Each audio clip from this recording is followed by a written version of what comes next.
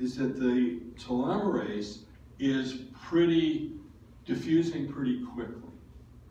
In fact, when you quantitate the diffusion coefficient of these particles, you find that they have a diffusion coefficient similar to transcription factors or Cas9 protein bound to a single guide RNA, a little bit depending on the, the mass, but then the other thing that you see, and I'll play this again, and you can look at this dot right here, there's a place where a telomere is associated with a telomerase for the entire length of this movie. So in addition to these rapidly moving ones, there are some static interactions as well. Of course, you're not allowed to just look at the pictures and draw conclusions.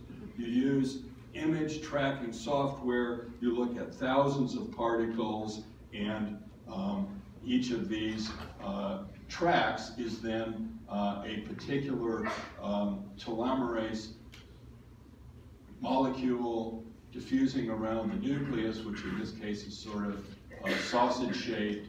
It seems to explore most of the nucleus, but not the nucleolus, which could make sense because there are no telomeres in the nucleolus. And then you can further quantify this information as follows.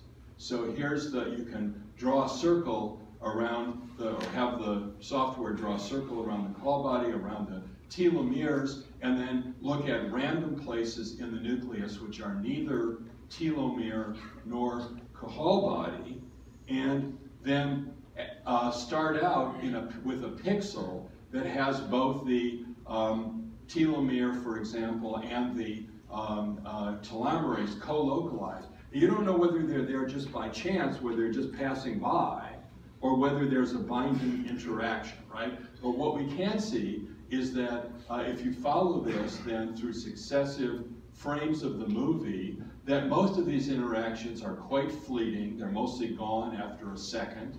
This is a log scale on the left, so you can see that the interactions with the telomere in the Cajal body are longer lived than with random places in the nucleus. Well, is that just because the chromatin is sticky there, or is there a real molecular binding interaction?